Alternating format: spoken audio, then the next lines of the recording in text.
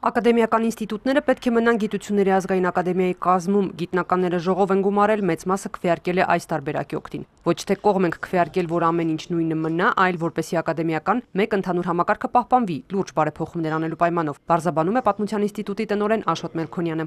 Դեռ չի ասվում, թե ալտերնատիվը որն է, ինչ է ստեղծվում, բայց նախագիծը փաստորեն նախատեսում է ակադեմիական գիտության վերացում եւ իբր որքան հասկանում եմ եվրոպական կամ ամերիկյան ավելի շուտ մոդելն է օգտագործում, որի իմաստը հետեւյալն է, որ գիտությունը զարգանում է բուական համակարգում։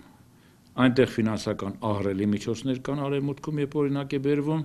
ամերիկյան համալսարանի հետ փորձում ես համեմատել, նրանք մի երկրի բյուջեի չափ բյուջե ունեն եւ այնտեղ գիտաշխատողները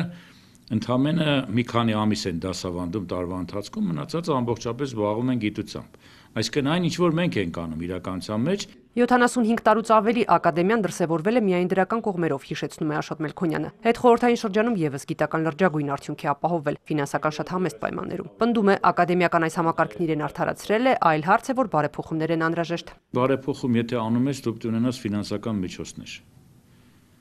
Այս մասին ոչինչ չի խոսվում։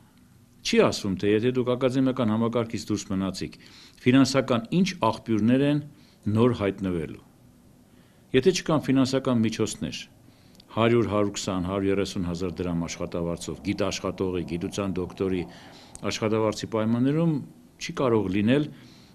գիտության մեջ թռիչք։ Ակադեմիան կարևոր գիտական օջախ է եւ պետք է այն պահպանել։ Արևելագիտության ինստիտուտի տնօրեն Ռուբեն Սաֆրաստյանը փոփոխություններին կողմ է, բայց դեմ է, որ ակադեմիական ինստիտուտները միանան համալսարանական ֆակուլտետներին։ Միասնական համակարգ հնարավորություն է տալիս գիտությունների ազգային ակադեմիայի ինստիտուտների աշխատանքը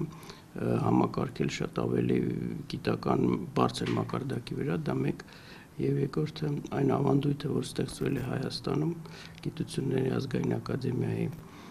որը այս կառուցվածքով է ի հայտ եկել։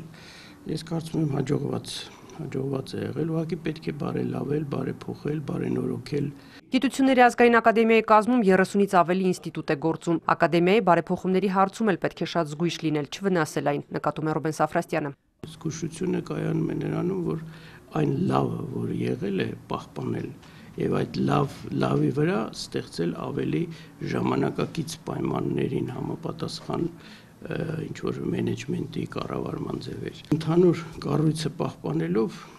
ավելի ասես հնարավորություն տալ ինստիտուտներին ավելի ինքնավար լինելու, ավելի անկախ լինելու իրենց որոշելու համար իրենց գիտական ծրագրերը եւ այլն։ Արևելագիտության ինստիտուտի տնօրենն ակնկալում է, որ ակադեմիայի նախագահության եւ կրթության, գիտության, մշակույթի եւ սպորտի նախարարության ներկայացուցիչները կհանդիպեն։ Բարձաբանումներ կտան առայժմ շրջանառվող խոսակցությունների մասին։ Նախարար Արայիկ Հարությունյանն օրեր առաջ անդրադարձել էր այս խնդրին նման բարձաբանմամբ առաջարկ ունենք գիտությունների ազգային ակադեմիայի հետ կապված, որտեղ որոշակի գործառութային փոփոխություններ են տեղի ունենում եւ ըստ էության այն ինստիտուտները, որոնք գործում են գիտությունների ազգային ակադեմիայի ներքո, նրանք ունենում են խորհուրդներ